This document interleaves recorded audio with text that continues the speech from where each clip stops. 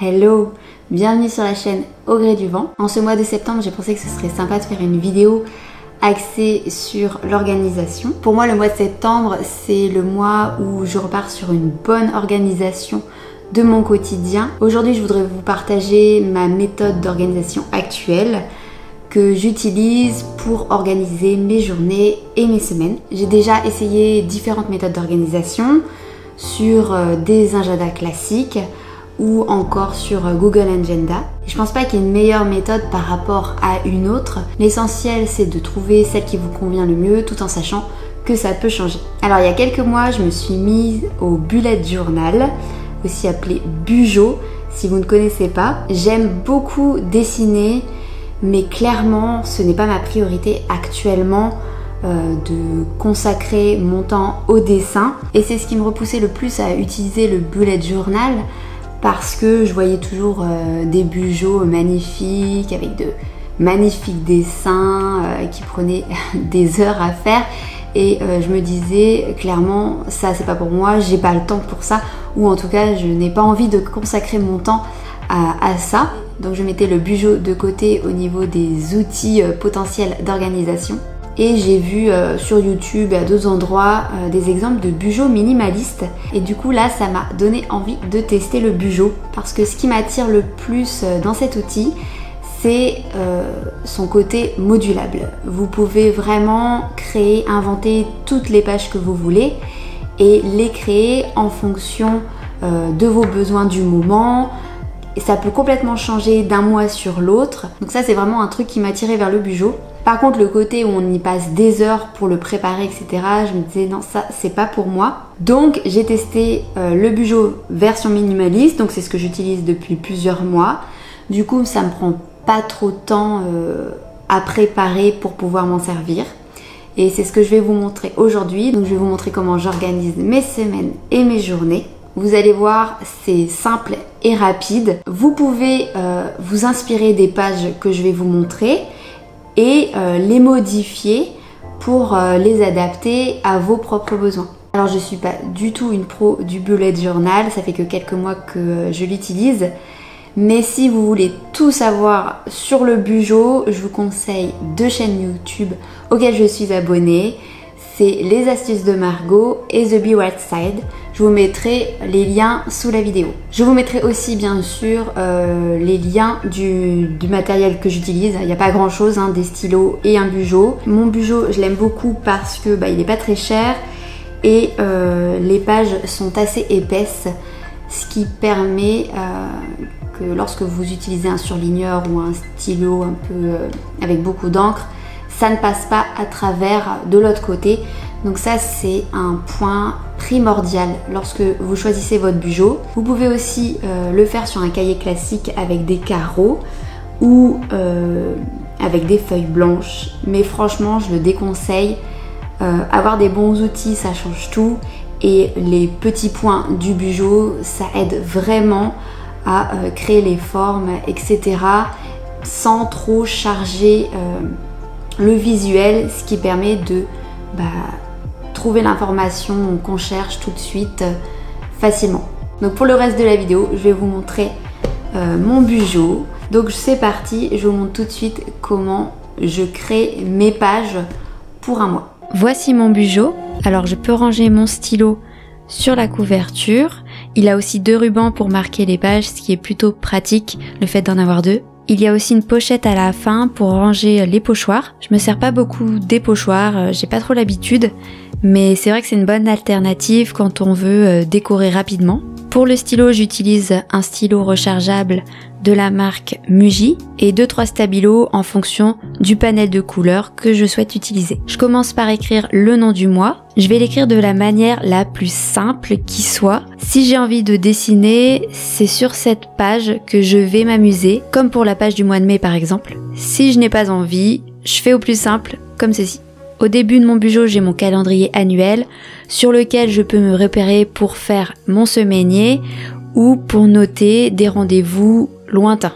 On va maintenant passer à la réalisation du semainier. Pour commencer, je vais laisser un espace à gauche et je vais compter 12 espaces et faire mon repère. Une autre technique, c'est de réaliser tout le graphisme au crayon à papier. Ensuite, vous repassez au stylo, puis vous gommez tout. Mais comme je veux aller au plus vite, je fais simple et direct au stylo. Ensuite, je compte 19 espaces vers le bas et je trace. Je termine mon rectangle. J'en fais un deuxième à droite que j'espace d'un espace de celui de gauche.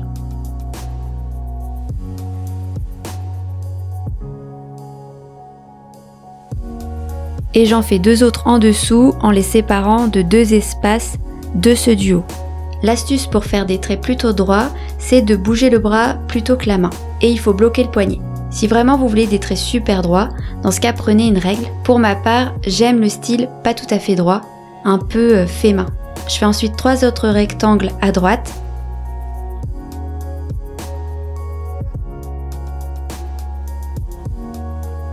Dans le petit espace qui reste, je fais un coin note. Pour donner un peu de couleur, je vais stabiloter, mais vous n'êtes pas obligé. Perso, j'aime bien car ça met un peu de couleur sans prendre trop de temps. Je vais noter toutes les heures sur chaque jour. Soit vous faites ça, soit vous laissez sans rien et vous notez l'heure au moment où vous écrivez un rendez-vous. Je préfère noter toutes les heures à l'avance car j'arrive mieux à visualiser et planifier mes journées avec les heures déjà écrites.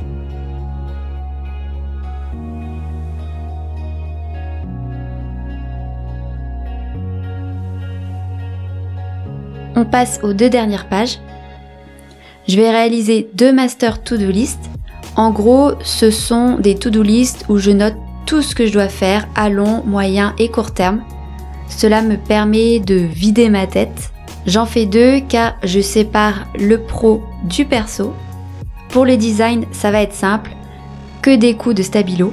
Si vous n'avez pas besoin d'autant de place, vous pouvez faire les deux listes sur une seule page. Là, je pense que je vais pouvoir euh, les utiliser pendant deux semaines.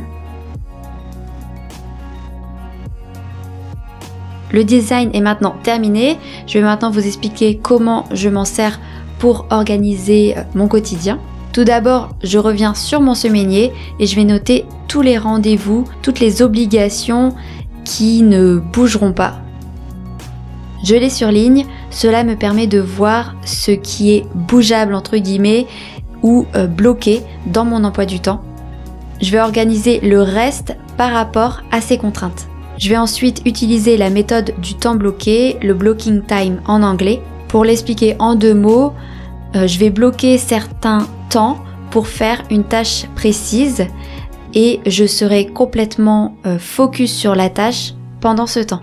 Pour le temps bloqué famille, bien sûr je ne passe pas du temps avec ma famille euh, que à ce moment-là, je passe aussi du temps à d'autres moments, mais ce temps bloqué me permet de me rappeler qu'il ne faut pas que je travaille trop le week-end quand mon mari est là pour qu'on puisse passer du temps à quatre. Ensuite, je vais commencer à remplir mes master to do. Une fois que c'est fait, je vais ensuite choisir quand, quel jour, voire même à quelle heure je vais pouvoir réaliser ce qui est dans mes to-do list. Un petit conseil, simple mais super important, je commence toujours par réaliser ce qui est le plus urgent. Ça peut paraître euh, un peu basique comme conseil, mais tellement vrai. Le nombre de fois où j'ai commencé parce que j'avais envie de faire et non pas parce qu'il était le plus urgent, et que je me suis retrouvée euh, en retard pour euh, effectuer les tâches qui étaient urgentes et que je n'avais pas faites. Donc toujours le plus urgent en premier. Dites-moi en commentaire si une vidéo sur des méthodes d'organisation et de productivité